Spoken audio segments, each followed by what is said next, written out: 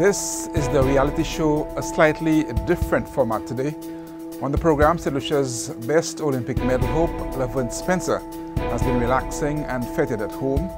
She is now a Goodwill Ambassador appointed by the St. Lucia Hotel and Tourism Association. Levern Spencer will speak to us shortly. This is Our Reality, Calabash TV. And tonight, Olympian Levern Spencer at home for the first time since winning gold at the 2019 Pan Am Games in Lima. We caught up with Levern at the Bay Gardens Beach Resort where she was a guest of honor.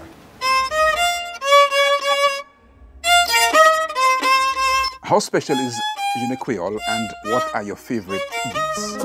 Uh, every year I look forward to coming to. Lucia for Journée Creole. Um, 90% of the time I'm in the US or in Europe and a lot of the music and the food and the culture, you know, it's it's not in the US and it's not in Europe. So I'm always looking forward to just the Creole speaking and you know having to eat bouillon and like all the you know the Creole snacks like tablet or golden apple in sauce or whether it's bread nut. So yesterday, you know, I ate well not yesterday but Sunday, I ate pretty much almost anything you could think of that was Creole. So um, yeah, I look forward to the food and just the music in general. There were golden apple in sauce, golden apple in jam. They had like tablet, they had bread nut, ice lolly, icicles, green fig and saltfish, um, smoked herring, pigtail with dumpling, they had cane, they had coconut, they had pretty much everything. They actually made local bread as well in the drum.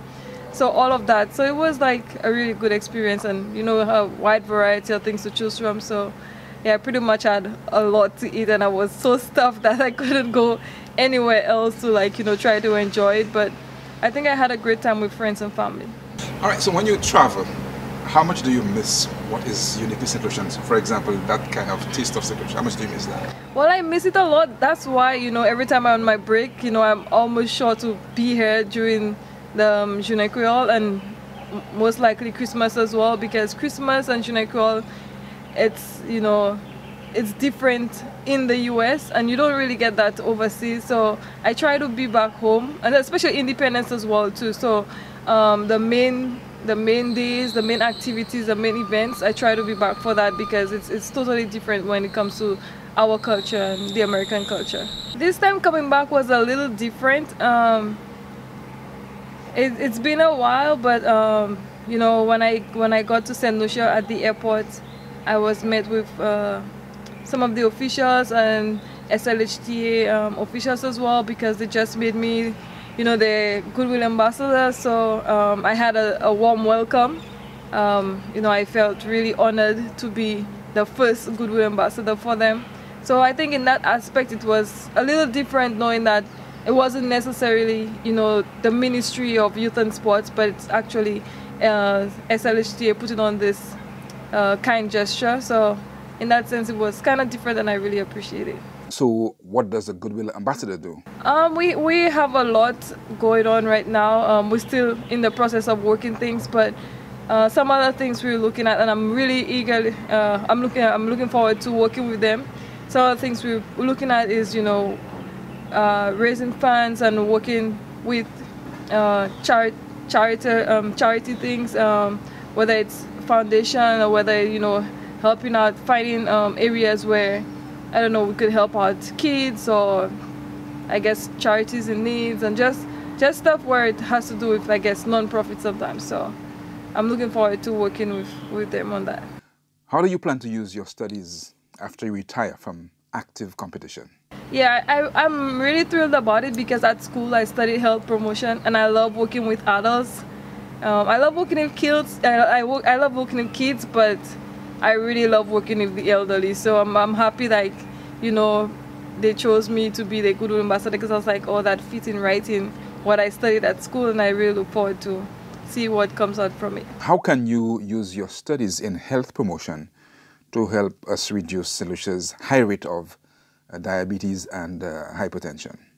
Um, well, I have a lot of plans in mind, especially after retirement. People always ask me, oh, what do you want to do when you retire? You know, my number one goal maybe, you know, probably to do something in the area of public health because like I said, you know, that's what I studied.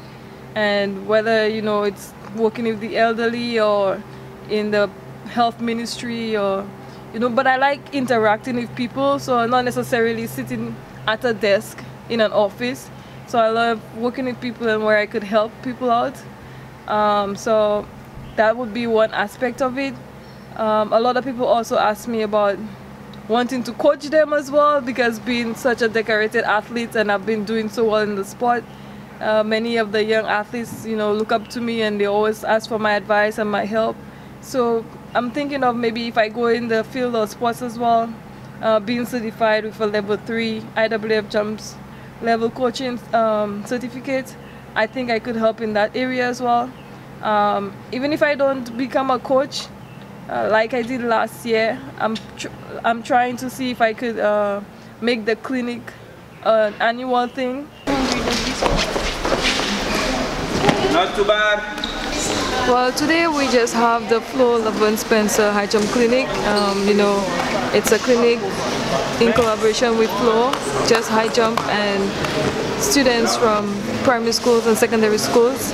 Um, you know, I'm hoping that it's it's the first, and I'm hoping, you know, along with Flow, that it will be a continuation of this event. Um, you know, whenever I'm back, I'll love to continue with the kids, and I hope, you know, it's not just a one-time thing. Hopefully, they could continue. And today, we just want to teach, you know, the basics of high jump, um, especially at the primary school level. It's not being contested, so and I always feel like you need to start at an early age. For me, I started when I was in secondary school already, which I thought was late. So for them, for those of them who are here from the primary schools, I think it's a good start and it's never too early to start. So hopefully, you know, they could learn the basics and they could get, you know, a little more involved in high jumping. Remember, we want to get head on up, over, you don't try to turn from on the ground or flying to the back. Also, you know, I just want to thank the coaches for being here. You know, it would not have been a success without them being here. So I'm happy they turned out as well to help the kids as well. So overall, I think it's a good turnout and they, I think they've, they've learned quite a lot, but I'm hoping that they could continue to put it into practice. Put your hands on your hip. Just give me a nice little push back and hold. Uh, we did a, a, high jump clinic in collaboration with Flow. And I think it was a success. So just little things little areas whether it's whether it's been an ambassador for St. Lucia whether it's uh, following my career where I studied health promotion or whether it's sports wise so I think I have a lot of doors open a lot of options. So um, I guess after retirement we're gonna go into it a little more depth to see what I really want to do. Hi, Jonathan Emmanuel, certified IWF coach specialized in jumps. Um, I'm official one of the registered coaches for the Elite Track and Field Club. I also knew Levern when she started off from Enchico School because she was part of Elite. We all started off under Gregory Lubin and I believe it's a very good initiative for Levern and Flow to have this clinic for the young ladies from the ages of 10 to 17. Um, I was just in discussion with Coach Les Pauls that I'm looking forward for a part two because you could have seen the enthusiasm in, in the in the participants. They were they gave a good listening ear, they were attentive, they demonstrated good skills, good, good drills, good execution of jumps at, at, at, at the end of the day's session. Um, from what I I see here today, I, I could identify some good talent that I, I could tell you um, the sport of high jump will continue to fly in St. Lucia. It makes me feel happy because, um, you know, especially being on the circuit for so long and when I go out to represent St. Lucia to see our size of the size of our team, you know, sometimes it's, it's not very uh, encouraging most of the times, you know, I'm the only athlete or our entire team, you could count the, te the team on one hand. So just to know that we have a lot of young athletes who are, you know, eagerly or they really want to learn about the sport and they want to, you know, be the next Levern Spencer or they want to be the next sports woman of the year or they want to be, not woman of the year, but the next sportswoman. Um, you know, I, I feel a little encouraged and I feel, you know, I also feel that I'm happy that I'm able to, I'm the one that's able to help them in that aspect. And you work hard at it and just give it a try and you might like it. maybe the first time you do it, you might not win or you don't like it, but you know, if you keep working hard at it, then you too can be successful. And hopefully, you know, with them looking up to me, it just shows that, okay, I'm doing something good and I've been in the sport for so long, so there is something, you know, that they can learn from, you know, just not just, you know, coming to training every day, but realizing that it takes discipline as well and not just coming to the track and practicing every day, but you have to be disciplined in order to get far. It's always my desire to give back to students, whether it's athletes or not. Um, you know, I, I love inspiring kids and helping young athletes. So I'm, I'm happy that, you know, they look up to me and I'm the one that's, you know, able to probably advise them and push them to the next level um, or motivate them. So just seeing a lot of young athletes coming to learn a little more about the sport is it's encouraging.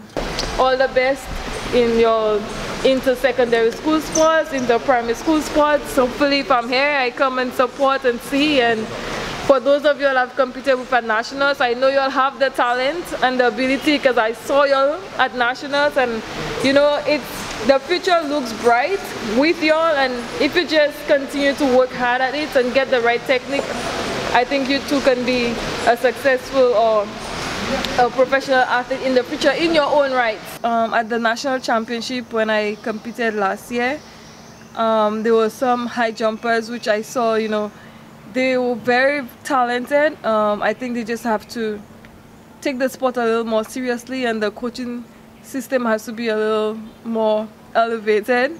Um, they have the raw talent, but I uh, the raw talent, but I think um, having the right coaches and the right people surrounding them, I think they could um, get very far in the sport. And from national championship, after that, that's when I, I hosted the or I held the clinic, and some of the same athletes, you know, they attended the clinic and you know, even during the national championship, I, I was competing with them, but I was helping them at the same time. So I guess it's it's it's a good feeling for them to know that yeah, Levern is helping them even if they're competing with me because I'm not gonna be around forever, but I I would love to see you know another young high jumper coming out of St. Lucia. So.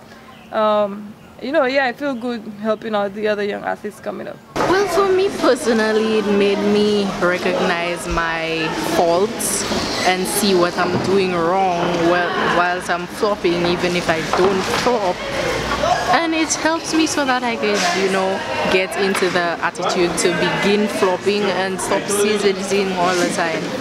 I think out of the whole session, the young ones got to have some fun, they got to learn the basics of high jump, and the older ones got to interact with each other because they're all from different clubs, but they also got to get more insight into the high jump. Um, it was very informative for me. I learned a lot about my takeoff points and how to improve my technique and it basically just made me realize that my goals are actually achievable. I had a lot of fun and the, and this clinic helped me to, you know, build up my skills in high jump. For sure, I wanted to learn how to jump higher because that's the main goal. But I also learned how to mark my run up, so I got a proper run up. I mean, over the past few years, I think that St. Lucia has fallen short in the high jump activity. I think one of our most talented areas in sports is actually the high jump. Um, we've we have a lot of established high jumpers, Janelle Sheeper, Levern Spencer, Darwin Edwards, myself. so yeah, so I think with those these coming up, they're pretty much all jump around the same range right now, and and for the fact that they're training hard and really I think what they've gotten out of today, they could put into practice and become the future.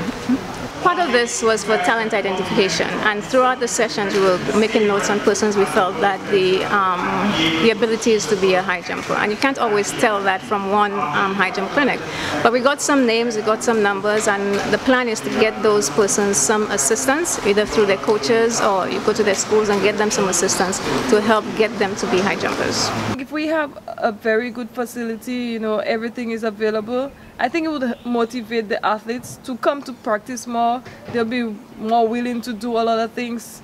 And I'm sure we'll be able to get, you know, a lot more, you know, elite athletes coming from St. Lucia because it's, it's really a challenge, even for me when I come down to St. Lucia, just to train during my season. Um, you know, I, I do most of my training at Phillip Park, and if it rains, you know, I can't I can't do my workout, and probably I have to drive an hour to Vieux Fort just to use the stadium and to get access to the the mats. It's it's another challenge. You know, the mats they're not outside, and I have to figure out, you know, how to get the mats down to the track, and so it, it's it's a challenge just to train here.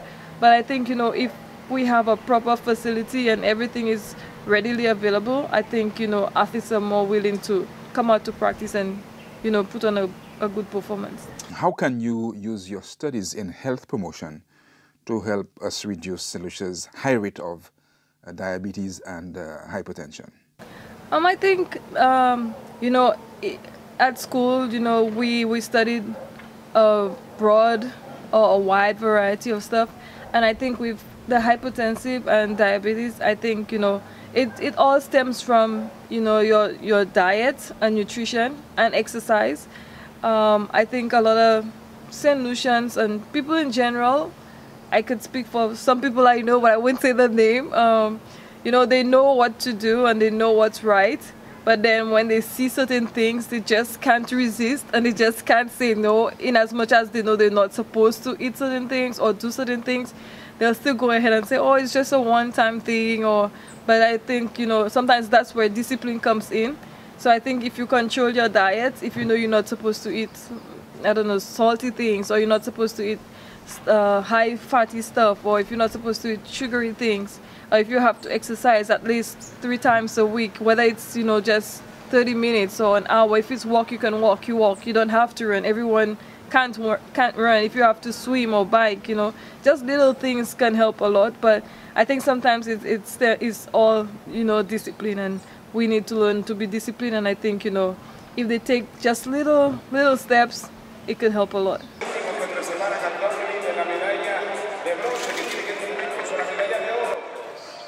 Your last big jump was in Peru, the Pan Am Games. Talk to us about that experience.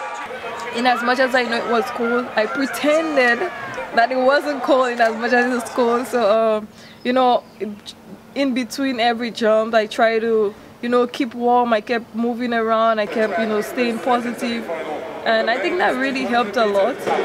Damas y caballeros, regresamos a la pista con la segunda semifinal en los 200 metros para hombres.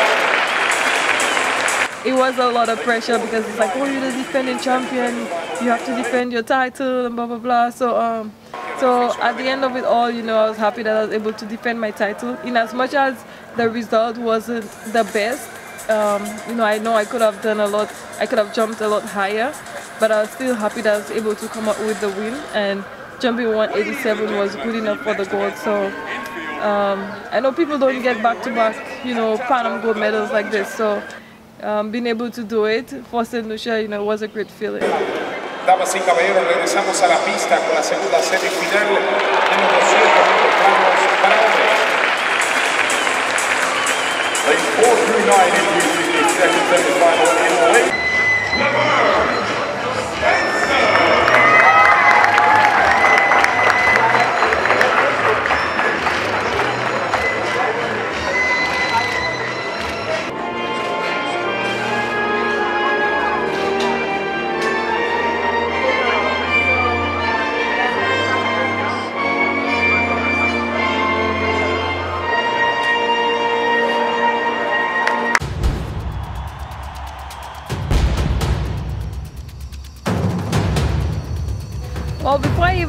2020, you know, I just want to first of all thank, you know, Bay Gardens, you know, Bay Gardens Resort for affording me the opportunity to be here to spend a couple of days at their resort. Um, I had a very long, long, challenging season, and I felt like it was a well-deserved break. So, thanks to them for allowing me to be here and you know just to have some downtime, enjoy their um, amenities, and interact with the kids and the tourists. So um, so far I'm having a great time. Um, after this, I'm looking forward to going back to the US to commence my training for the Olympics.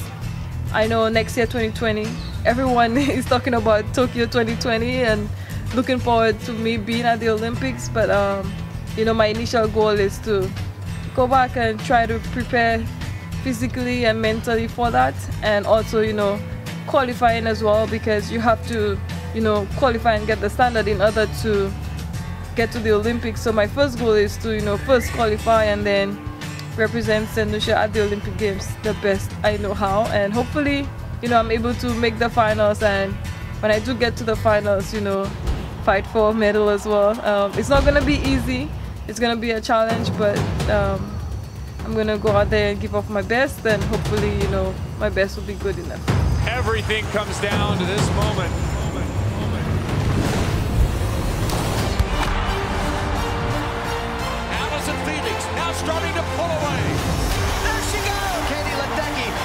Smashes her own world record. Um, I've been to Tokyo a couple of times. For sure, I know it's not cold.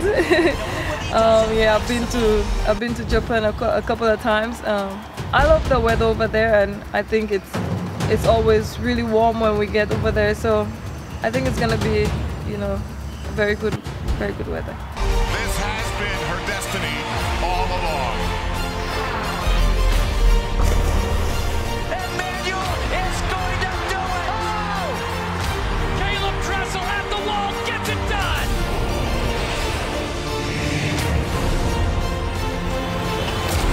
Retiring is still on my mind. Um, you know, I, I, I, like I always say, I can't go on forever. Um, but you know, Olympics definitely come before right, retirement. So right now, my main focus will be the Olympics, um, and after that, I will just you know take it one step at a time and see where we go from there. But definitely, retirement is somewhere around the corner. Um, but like I said, we'll take it one step at a time and see what happens after the Olympics.